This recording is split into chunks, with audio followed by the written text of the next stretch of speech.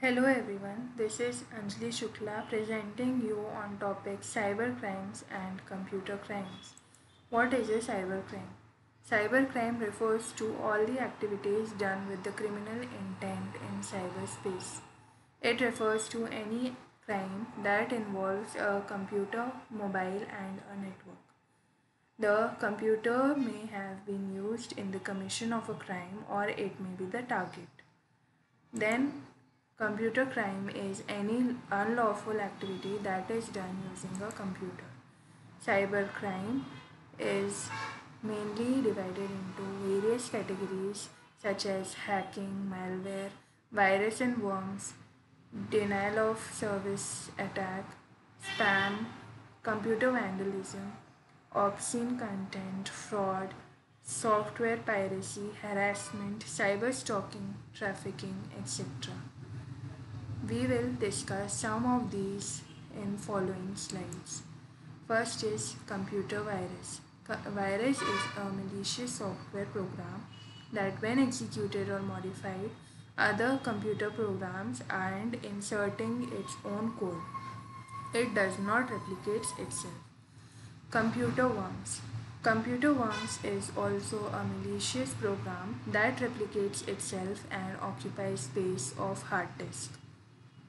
Then comes the Trojan horse.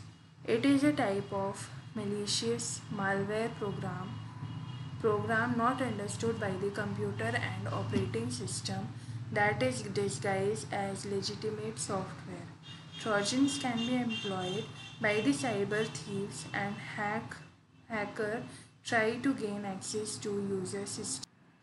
Trojan horse can be attached to any programs Users are typically tricked by some form of social engineering into loading and executing Trojans on their system. Trojans are not ready to able to self-replicate.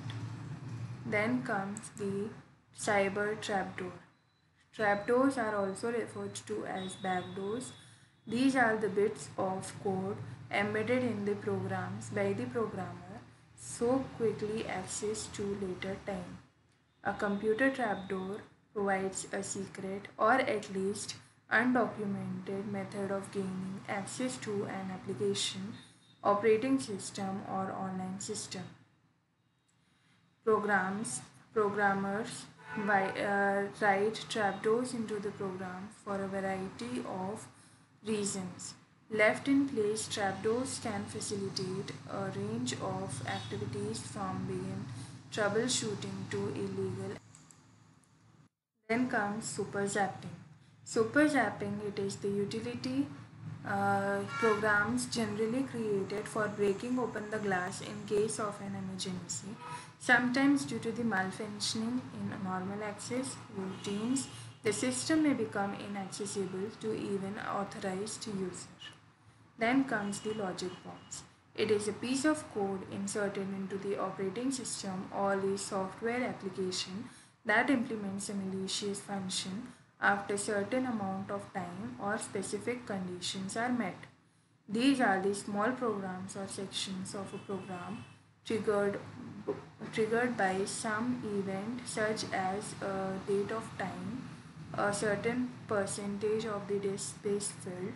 This this provides the illegal of the file and so on. For example, a programmer could establish a logic bomb to delete critical critical files or sections of the code if she is terminated from the company. Logic bombs are mostly commonly installed by the insiders with the access to the computer.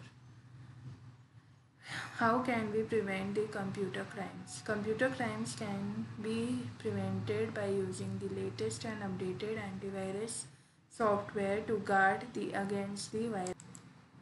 Avoid sending photographs online, particularly to the strangers and chat friends, as there have been incidents of misuse of the photographs.